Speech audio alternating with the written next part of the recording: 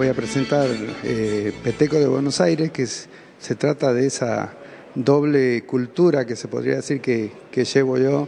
Yo he nacido, eh, me he criado prácticamente eh, con esas dos culturas, porque iba y volvía entre Santiago y Buenos Aires, hasta que ya definitivamente a partir de los 8 o 9 años más o menos, ya me quedo más tiempo aquí que en Santiago. Se trata de, brindar un, espectáculo con, temas populares de, la música ciudadana, desde Gardel hasta Piazzolla en el repertorio, pasando por Troilo, por, por Homero Mansi, Cátulo Castillo, ¿no? Eh, Coviani Cadícamo, qué sé yo, los grandes autores y, los grandes temas eh, que, pueden llegar a entrar en un, en un espacio de, de comunicación con la gente de una hora y pico más o menos en un escenario acompañado por Hugo Rivas en guitarra y Julio Pan en, bandoneón. Voy a cantar, no pretendo eh, hacer nada nuevo para el tango,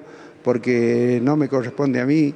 Eh, sí darme el gusto de cantar tangos como, como lo hago habitualmente en mi casa, en la intimidad, eh, como lo ha hecho mi viejo y mi vieja también siempre. Yo soy cantor de chacarera, mi voz es para cantar chacareras. Eh, eh, a veces mis parientes me dicen, te falta un poquito más de, como más gruesa la voz, ¿no? Y, bueno, es mi voz, y, pero, y canto tango como provinciano. Voy a seguir con un poco con la dinámica de lo que hacían solo y acompañado, que era la improvisación un poco también. Y con el repertorio también estoy...